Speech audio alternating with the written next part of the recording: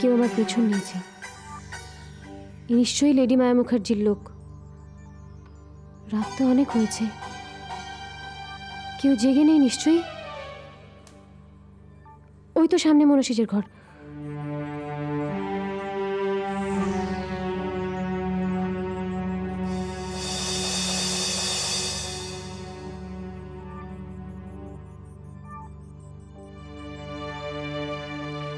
যেভাবেই হোক মনীষীর ঘরে ঢুকে পড়তে হবে। কিন্তু দরজা খোলা থাকবে কেন? কুলফি আছে ঘরের মধ্যে।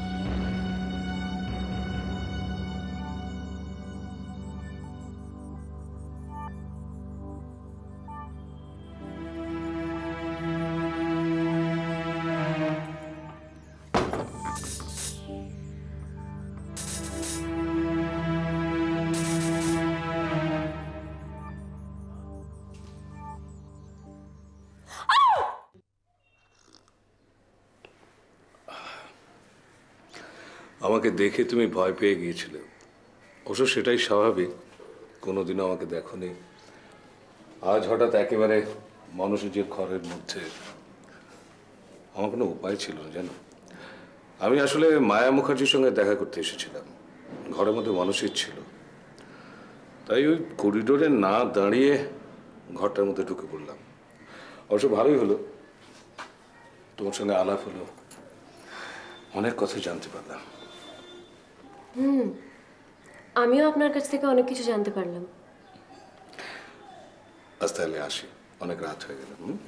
আপনাকে কিন্তু আমার প্রয়োজন হতে পারে। প্রয়োজনে তুমি আমাকে ফোন করো আমি তক্ষণ এসে যাব। ও হ্যাঁ একটা কথা। দেবারতীকে অ্যাসাইলামে পাঠিও না মেরে ফেলবে। আমি জানি। তোমার প্রথম কাজ হবে মনসেজকে তৈরি করা। ওকে বুঝিয়ে দেওয়া। মায়া মুখার্জির সবচেয়ে দুর্বল জায়গা হলো মনসেজ।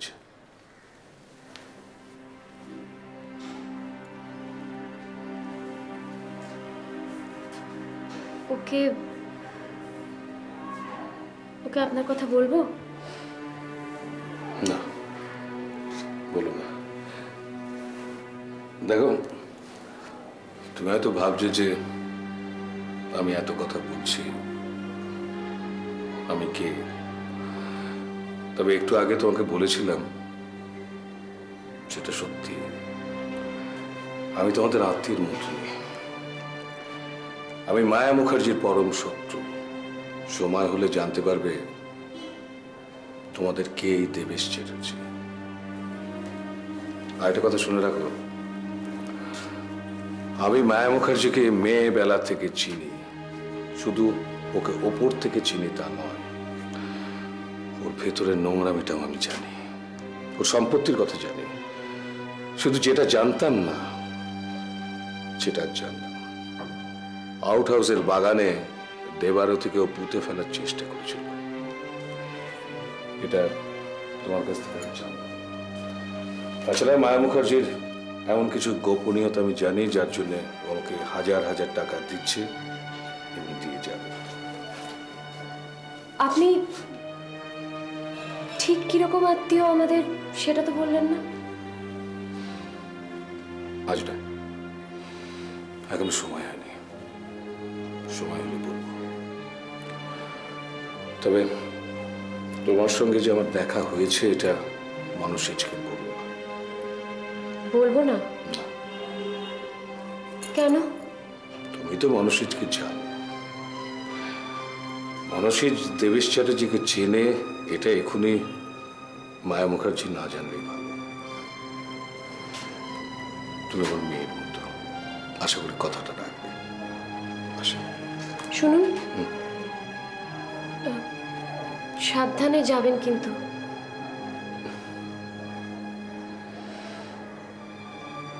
আমি সবসময় তোমার পাশে আছি। ভালো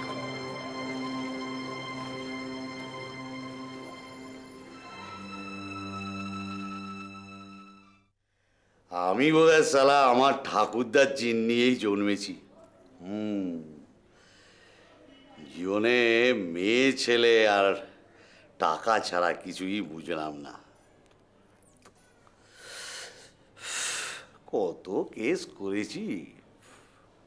লিখলে একটা বিরাট উপন্যাস হয়ে যাবে।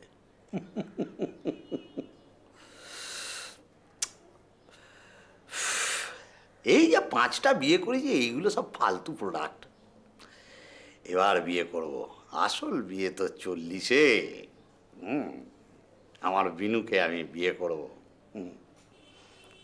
কিন্তু তিন দিন হয়ে গেল, দেখা পাচ্ছি না কেন? আমার এই সোনার হরিণকে চাই। যদি এই কেসটা লেগে যায় না তাহলে আমাকে আর পায় কে? তোরা যে যা বলিস ভাই, আমার সোনার হরিণ চাই। আসছে না কেন? এখন আসছে না কেন? মনটা বড় খারাপ হয়ে গেছে। বাটা মঙ্গলা, তাহলে কেসটা কেঁচিয়ে দিল না তো? কি জানি? হয়তো আবার কোনো গন্ডগোল করেছে। তোরা যে যা বলি গুরুদেব? ভাই আমার সোনার হরিণ চাই এসেছে। গুরুদেব! কে? কে? কে? আমি আসিতেছি। এসেছে। খুলিতেছি খুলিতেছি। কে আসিয়াছ বিনু? হ্যাঁ গুরুদেব আমি। ক্ষণকাল তিষ্ঠ। আমি মা তারার নামে জপ করিতেছি।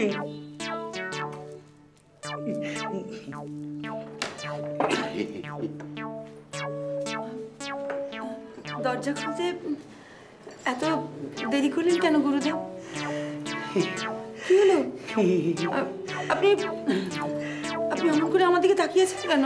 তোমাকে আজ ভারী সুন্দর লাগিতেছে।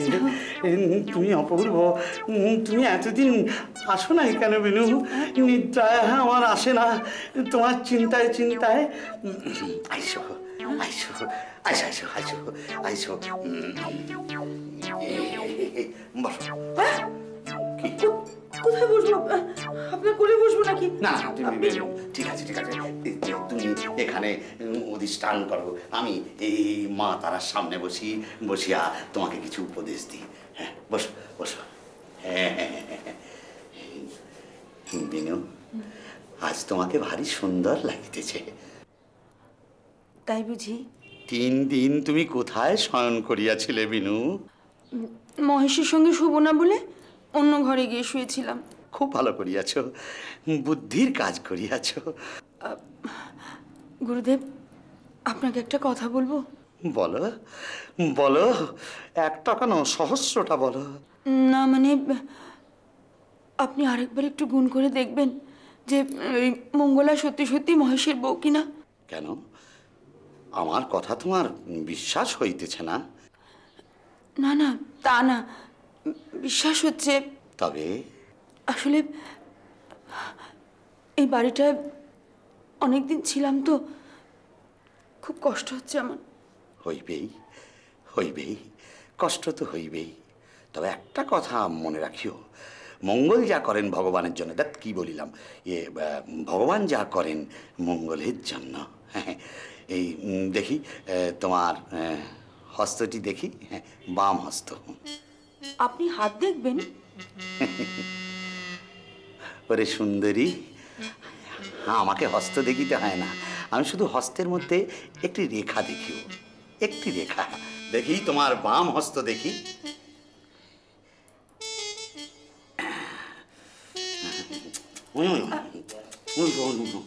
কি করছেন গুরুদেব?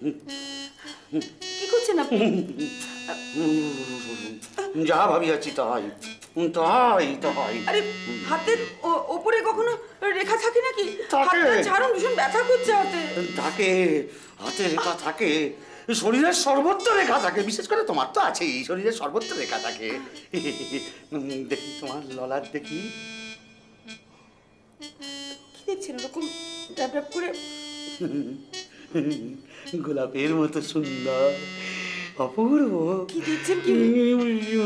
না থাক কিন্তু লোক সংযম করা দরকার তা নাহলে পাখি ফুরুত হইয়া যাইবে কোন পাখি? তুমি পাখি? তুমি পাখি? তোমার ভবিষ্যৎ পাখি? তুমি পাখির মতো ভবিষ্যতে উড়িয়া বেড়াইবে? উমা তাই নাকি? হ্যাঁ। কোথায় যাব উড়ে? দেশে বিদেশে Shimla Kullu Manali London Paris Venice তোমাকে লইয়া আমি তুমি কবে আসিবে বলো তো? গিয়ে তোমার ভবিষ্যৎ কর্মের জন্য তুমি প্রস্তুত আছিস তো বিনু? তা তো আছে কিন্তু আপনাকে যে বললাম গুরুদেব আপনি শেষবার একবার গুণ করে দেখুন না সত্যি সত্যি মঙ্গলা মহেশের বউ কিনা। করিব করিব তুমি যখন বলিতেছ তখন করিব। গুণ করিব শেষবারের মতো গুণ করিব। কিন্তু তাহার পরে কি হইবে বিনু? তারপরে যা কথা ছিল, তাই হবে। আপনি এমন ভাবে বলেন না যে মানে আমি কীরকম দুর্বল হয়ে যাই। আমার আমার বুকের ভেতরটা কীরকম দুপুক দুপুক করে দুপুক দুপুর করে না? দুপুক দুপুর করে। করে তো। ঠিক আছে, তাহলে ফাইনাল গুণ করিব। করার পর তাহলে কে হইবে? ওই যে বললাম যা কথা ছিল আমি সব কিছু গুছিয়ে রেখেছি। হ্যাঁ আপনি শুধু বিষটা দিলে আমি কাজটা শেষ করে দেবো। ব্যাস জয় মা তারা। কোথায় তো হবে যারা? না যাইও না।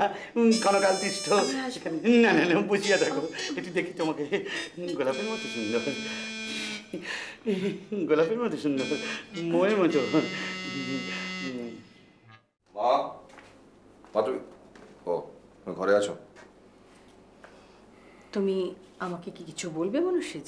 কিছু হ্যাঁ, বলবে? হ্যাঁ বলো। তুমি কেন অহনাকে চড় মারতে চেয়েছিলে? কেন ওকে মারতে চেয়েছিলে? কি দোষ করেছ? মনুষ্যজ তোমায় কে বলেছে আমি অহনাকে মারতে চেয়েছিলাম? অহনা বলেছে? না অহনা বলেনি। আমি নিজের কানে শুনেছি। মোবাইল ফোনে আমি নিজের কানে শুনেছি। তুমি কি মোবাইল ফোনে দেখেছ যে আমি অহনাকে মারছি? দেখো মা মোবাইল ফোনে দেখা যায় না কিন্তু নিজের কানে শোনা যায়। আমি শুনেছি মা। আচ্ছা মা কেন তুমি এরকম করছ? কেন তুমি আমার চোখে নিজেকে এত ছোট করে দিচ্ছ? কেন? শোনো শোনো না আমি কিচ্ছু শুনতে চাই আমি কিচ্ছু শুনতে চাই না। দেখো তুমি বুঝতে পারছ না এটা এটা এটা একটা চক্রান্ত। তোমার আর আমার মধ্যে সম্পর্কটা নষ্ট করার একটা চক্রান্ত। মনুষ্যজ প্লিজ ট্রাই টু আন্ডারস্ট্যান্ড মিথ্যে কথা। মিথ্যে বলো না আমাকে। তুমি এতদিন আমাকে মিথ্যে বলেছ। আচ্ছা মা দেবারতী রহনা কেন তোমার বিরুদ্ধে ষড়যন্ত্র করবে? মা তুমি তুমি নিজেকে আমার থেকে অনেক দূরে সরিয়ে দিচ্ছ। প্লিজ প্লিজ মা এটা করো না। শোনো মনুষ্যজ একটু আমার তুমি একদম ছবে না আমাকে একদম ছবে না। এইরকম করে আমার সঙ্গে কথা বলো না মনুষ্যজ আমি তো তোমার মা তুমি এরকম করলে আমার আমার কষ্ট হয় না বাবা। কষ্ট তো আমি পেয়েছিলাম। এই মোবাইল ফোনের প্রত্যেকটা কথা আমার কানের মধ্যে পাচ্ছে। আমাকে আবার সবকিছু নতুন করে ভাবতে হচ্ছে। ভাবো না তুমি হাজারবার ভাবো। আমি ভাবতে তো তোমায় বারণ করিনি। কিন্তু কিন্তু তার আগে তুমি আমাকে একটু বলতে দাও। কি বলব? বলার মতো মুখ আছে তোমার? তোমাকে তোমাকে আমি এবার চিনতে পেরেছি। মনসিজ মনসিজ আমি আমি ঠিক জানতাম। এই রকমই একটা কিছু ঘটবে। ওরা আমার সিক্স সেন্স বলছিল যে ওরা তোমার কাছ থেকে আমাকে দূরে সরিয়ে দেবে।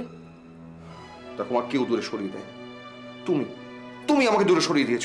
এর আগে বলো তুমি আমাকে যা বুঝিয়েছো আমি তা বুঝেছি। যা করতে বলেছ আমি তা করেছি। সব কিছু মনসিজ শোন ঠিক আছে ঠিক আছে।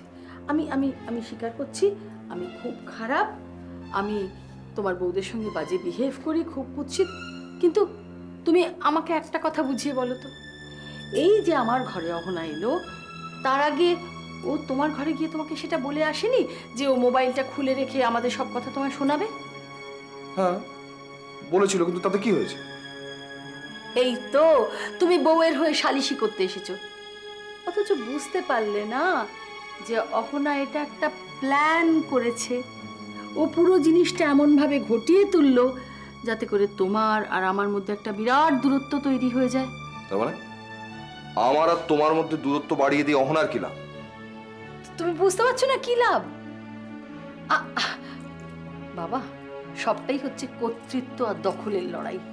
এই যে এই যে তুমি আমাকে ভালোবাসো আমার কথা শুনে চলো এটা তখন আর সহ্য করতে পারছে না। ও সেই জন্য তোমার মধ্যে বিষ ঢেলে দিতে চাইছে বিষ। অহনা চায় পুরো কর্তৃত্বটা করতে তোমায় দখল করতে পুরো। আমার কিন্তু তা মনে হয়নি মা। তাহলে তাহলে তোমার কি মনে হচ্ছে সেটা বলো আমায়? তুমি দেবারতীকে জোর করে অ্যাসাইলামে পাঠাতে চেয়েছিলে।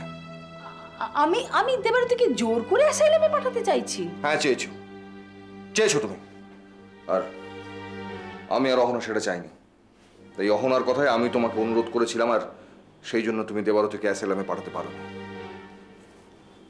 মনসিজ আমি দেবারতিকে পাঠাতে চেয়েছিলাম তো ওর চিকিৎসার জন্য ওর ভালোর জন্যে। ও যাতে সুস্থ হয়ে ওঠে সেই জন্য আমি ওকে কালিম্পংয়ে পাঠাতে চেয়েছিলাম। তুমি তুমি সেটা বোঝার চেষ্টা করো। তুমি জানতে পেরেছিলে যে অহনার কথায় আমি তোমাকে অনুরোধ করেছি তাই তুমি অহনাকে শাস্তি দিতে চেয়েছিলে। আচ্ছা আমি আমি ওনাকে কি বলছো মানুষ যেভাবে আমার সঙ্গে কথা বলো না বাবা আমি বুঝতে পারছি না তুমি কি তুমি বলছো। কি বুঝতে পারছ না? আমি তো বুঝতে পারছি। তুমি অহনাকে শাস্তি দেওয়ার জন্য তোমার ঘরে তুমি ডেকেছিলে হুম? তোমার ঘরে বেগুন মামিকে লুকিয়ে রেখেছিলে আচ্ছা বেগুন মামির এত সাহস হয় কি করে যে তোমার সামনে আমার স্ত্রীকে অপমান করে? আর তুমি কিছু বলো না? দেখো আমি কিচ্ছু বুঝতে পারছি না, আমি কিচ্ছু বুঝতে পারছি কিন্তু একটা জিনিস বুঝতে পারছি যে এতদিন আমি অনেক কিছু বুঝিনি কিন্তু এখন সেটা বুঝতে পারছি। আমি যাচ্ছি। মনসিক শোনো বাবা যেও না। আমার অনেক কিছু বলার আছে তোমার তোমার কোনো কথা শোনার এখন আমার কাছে সময় নেই। কোনো সময় নেই।